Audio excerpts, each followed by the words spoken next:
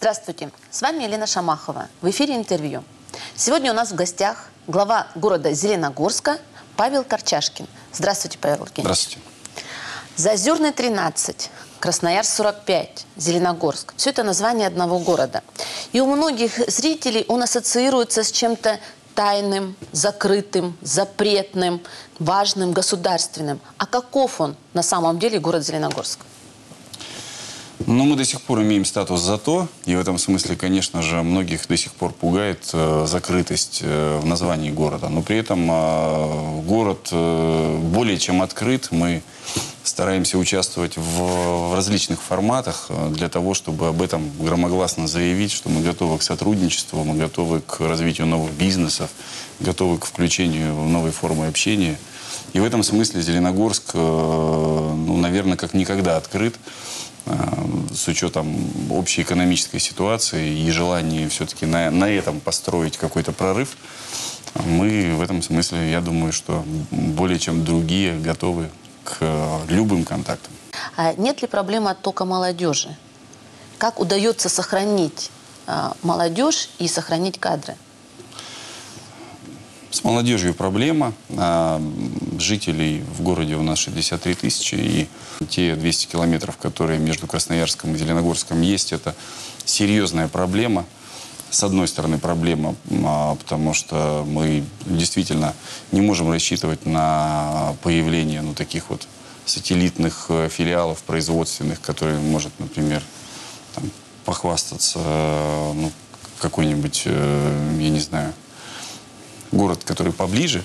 Но с другой стороны, а, может быть, вот эта отдаленность от, э, от регионального центра не позволяет ежедневно мигрировать э, горожанам, и они чуть больше а, патриотично настроены в отношении своего города. Чуть больше, ну, как мне кажется, больше болеют за судьбу города, поскольку в большей степени, больше количество времени проводят именно в нем.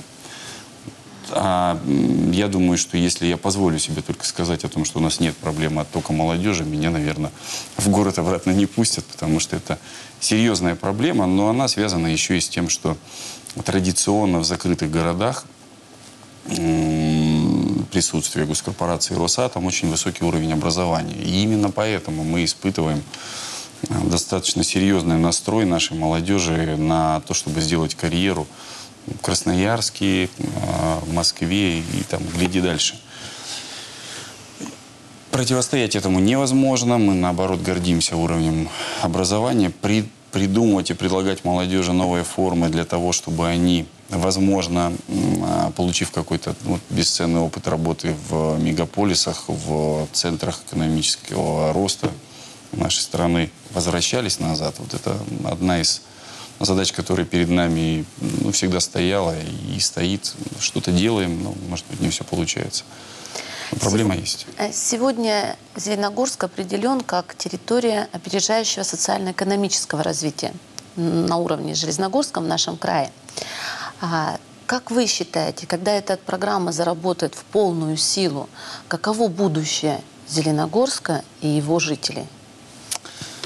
Ну, Собственно, сам закон о территории опережающего социально-экономического развития федеральный, он а, и предполагает э, на, нахождение или поиск новых точек роста экономического. И в этом смысле, конечно, это ну, такой серьезный шаг а, в сторону ухода от зависимости от э, моноэкономики. На сегодняшний день электрохимический завод – это то предприятие, во имя которого, собственно, создавался, строился город, э, то предприятие, вокруг которого, в общем-то, и построена экономика города.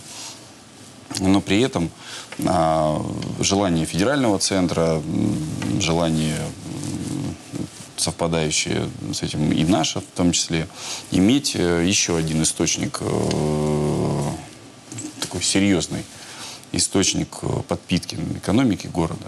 И в этом смысле мы очень рассчитываем на то, что появление дополнительных налогов, появление дополнительной занятости для города даст возможность, ну, что ли, более свободно совершать какие-то маневры по благоустройству, по более, ну, что ли, улучшение комфортности среды проживания горожан. Основная задача. И думаю, этот проект это решит. А в городе существует проблема безработицы? Есть Конечно. нас безработица?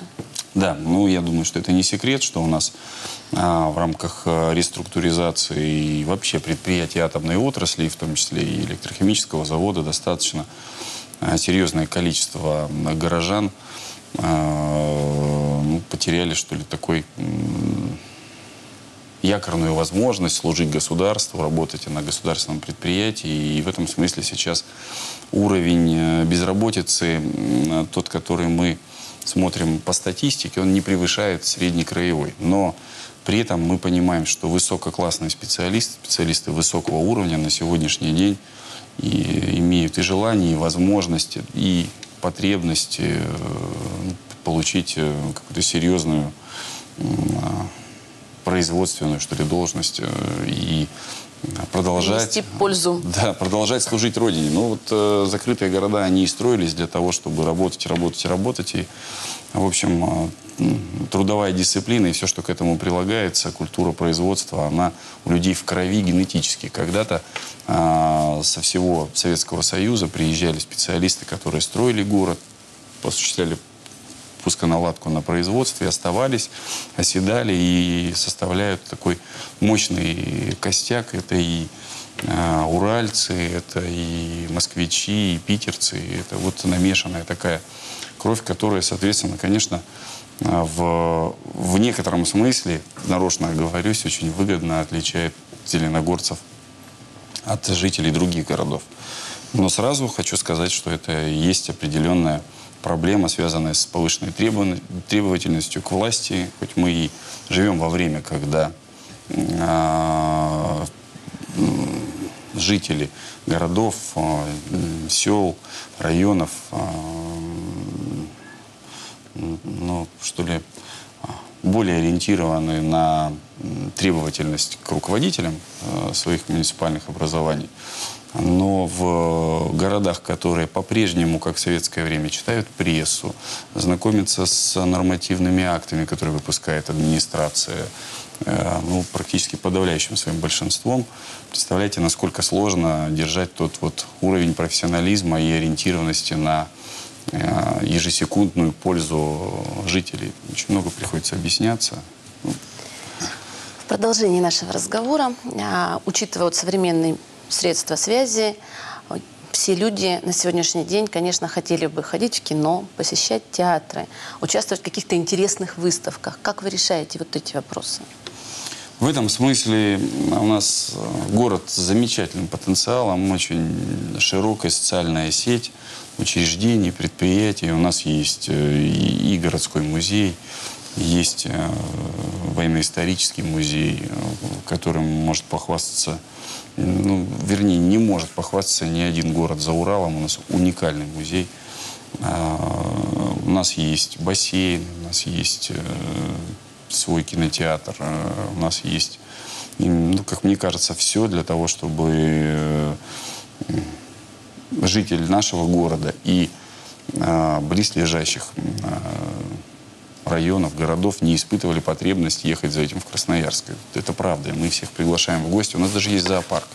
А что есть вот что-то такое особенное, что, допустим, ваш город отличает от всех остальных городов края? Есть что-то такие, какие-то достижения, может быть, у вас? Ну, если говорить про достижения последнего дня, то мы все с вами помним победительницу конкурса «Голос». Да, и, и я думаю, Дарья через- Антонюк. Конечно, да, наша, на- наша Дарья, она сделала наш город известным даже там, где про него вообще не слышали. И со всех э, уголков э, страны звонили и поздравляли меня, хотя, в общем, я думаю, что в меньшей степени это моя заслуга. Но э, есть, э, есть другие замечательные молодые люди, например, Арина Опенышева, э, замечательная плавчиха, самая молодая участница э, сборной команды по плаванию на Олимпийских играх. К сожалению, может быть, к сожалению, не, не привезла нам золотой медали, хотя мы ждали и болели а, за, за нее, но а, при этом однозначно это олимпийская надежда, спортивная надежда нашей страны. Губернатор нашего края Виктор Александрович а, всегда говорит о том, что власть должна быть ближе к людям. Как у вас простроен ди- диалог между властью и населением? Мы в прошлом году провели первый в городе общественный форум «Диалог». У нас э, в прошлом году заработала общественная палата городская.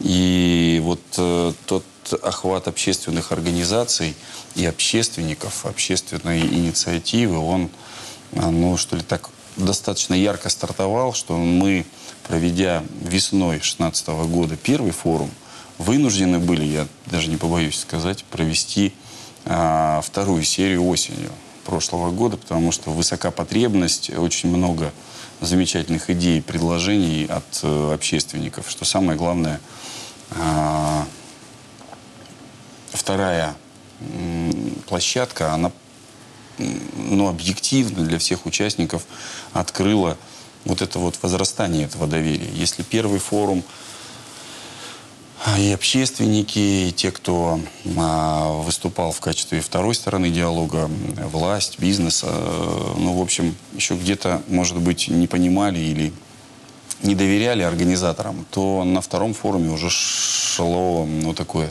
чисто человеческое предъявление тех ожиданий, по- потребностей, которые есть у каждой стороны. И мы а, в этом 2017 году на весну уже а, хотим, чтобы этот форум а, ну, становился, если не всероссийским, да, в части участия других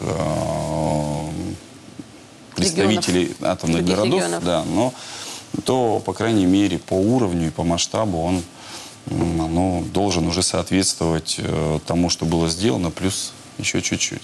Павел Евгеньевич, спасибо большое за то, что нашли время и пришли к нам в студию.